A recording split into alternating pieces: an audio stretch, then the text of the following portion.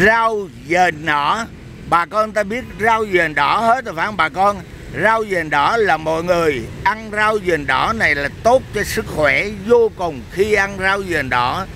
Nhưng mà có riêng một số người và một số bệnh thế này, vui lòng không ăn rau dền đỏ. Bởi vì ăn rau dền đỏ vào thì bệnh chúng ta lâu lành, lâu bớt, lâu khỏi. Đó là những người không được ăn là bà bầu người có tính hàng, người bị phong thấp, bệnh gút và người sỏi thận tiêu chảy, phụ nữ đang cho con bú là vui lòng, đừng ăn rau dền đỏ, ăn vào nó xấu đi cho sức khỏe của mình, không tốt gì cả. Đó là phụ nữ đang cho con bú bà bầu, người có tính hàng, người bị phong thấp người bệnh gút và người sỏi thận và tiêu chảy là vui lòng đừng ăn nha bà con. Ăn vào không tốt gì cho sức khỏe đâu bà con ơi. Cho nên vui lòng đừng ăn để nó tốt cho sức khỏe của mình. Bà con ạ à. chứ bà con ăn thì không có gì cả đâu nha bà con. Không tốt không tốt. Bởi vì rau dền đỏ là những người không được ăn là phụ nữ đang cho con bú, bà bầu, người có tính hàng người bị phong thấp, bệnh gút, người sỏi thận người tiêu chảy, vui lòng, đừng ăn bà con ơi, đừng ăn nha bà con.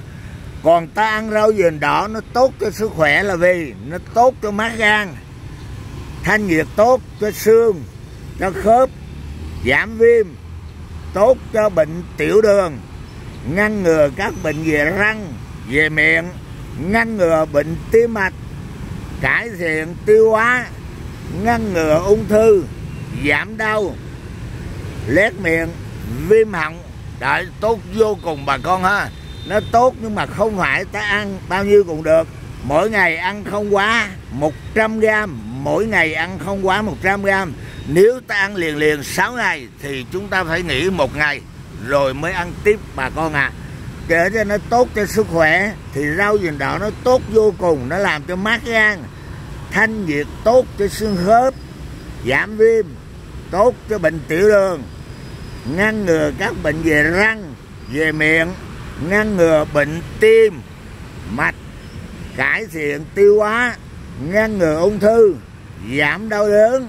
Lét miệng, viêm họng không phải tốt là bà con ta ăn bao nhiêu cũng được đâu nha bà con bà con ta nên nhớ cố gắng rằng một ngày ăn không quá 100 gram, một ngày ăn không quá 100 gram. Nếu ta ăn 6 ngày liền thì chúng ta nghỉ một ngày rồi mới tiếp tục ăn. Chúc bà con ta vui vẻ, mạnh khỏe, vui, trẻ, khỏe, đẹp. Bà con ơi, xin chào!